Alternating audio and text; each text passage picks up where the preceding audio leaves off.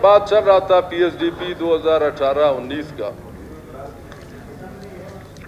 جو new new اسکیمات ہیں، جیسا ہمارے عبدالخالق بھائی نے کہا کہ میرا ڈسٹرکٹ میں کام نہیں ہوا ہے، مجھے ایک روپیہ نہیں ملا ہوا ہے۔ میں یہ بھی انشاءاللہ پروف کروں گا اسمبلی میں، کچھ حلقوں میں ساٹھ، ستر، اسی کروڑ روپے ریلیز ہوئے ہیں ٹینڈر بھی ہو گئے جناب عبدالخالق صاحب میں نے قائد اور ایوان کو بھی واٹس اپ کے ذریعے میں نے وہ بالکل اسکیمات میں نے واٹس اپ کیا کہ یہ ڈسٹرکوں میں ٹینڈر بھی ہوئے ہیں، کام ہوئے ہیں۔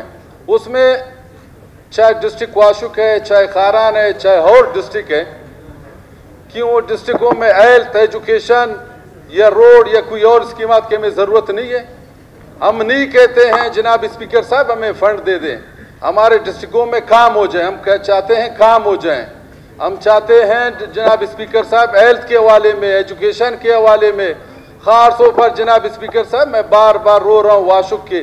قائد ایوان صاحب پلیز آپ آ جائیں۔ واشک میں آ جائیں، ماشکیل، گڑانگ، جنگیان میں آ جائیں۔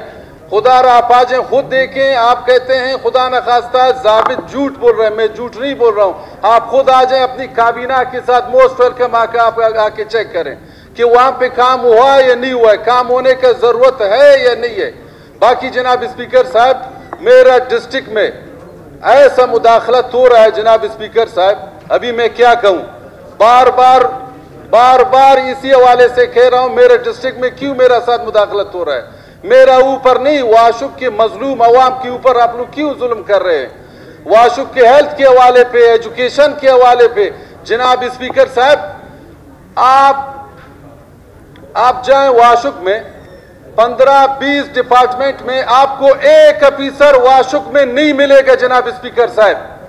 ایک افیسر وہاں بیٹھنے کو تیار ہی نہیں ہے۔ بار بار یہ کہہ رہا ہوں کہ وہاں پہ بندے بیٹھنے کے لیے تیار ہی نہیں ہے۔ آپ نے ایسے بندوں کا اپوائنٹمنٹ کیا ہوا ہے کہ وہ آتے ہی نہیں، اپنے گھر میں بیٹھے ہیں۔ لپ ٹاپ ہے، جو اگر کام ہو جائے، اپنے گھر سے، اپنے گھر کو بیٹھک بنا کے ادھر سے کوئٹہ میں یا سیکٹریٹ میں اپنا جواب دے دیتے ہیں۔ وہاں پہ کوئی بیٹھنے کے لیے جناب اسپیکر صاحب تیار نہیں ہے۔